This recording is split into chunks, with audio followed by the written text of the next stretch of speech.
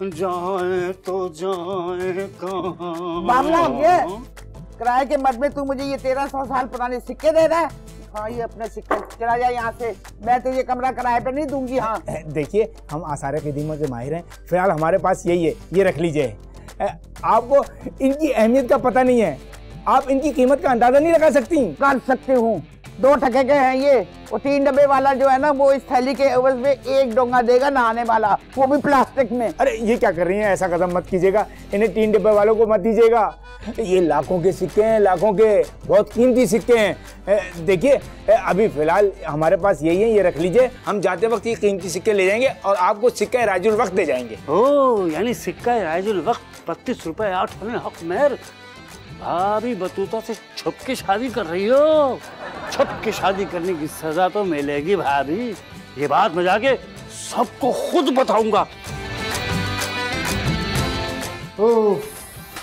तुम यहाँ क्या कर रहे हो? आपके लिए बहुत अहम खबर लाया हूँ। तुम और काम की खबर वो भी मुझे दोगे? काम की सारी खबरें तो तुम भाभी को देते हो जिनसे तुम्हें तनख्वाह भी नहीं मिलती। मगर ये खबर भाभी के बारे में ही है इसलिए आपको बताने आया हूँ। आप क्या देंगी मुझे ये बताइए। पहले खबर बताओ। भाभी बतूता से निकाह करने की तैयारी कर रही क्या?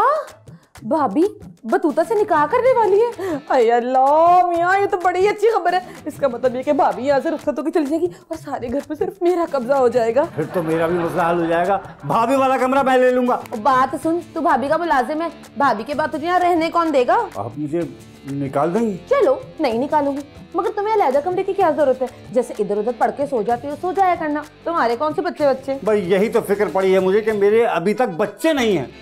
अब अल्लाह अल्लाह करके कमरे का इंतज़ाम हुआ है बस एक बीवी का इंतज़ाम करना बाकी है फिर तो बच्चे ही बच्चे। अच्छा अच्छा दे दूँगी कमरा। हाँ लेकिन इस खबर के बदले ना तुझे मुआवजा नहीं मिलेगा। अब तू डिसाइड कर ले तो तुझे मुआवजा चाहिए कि कमरा।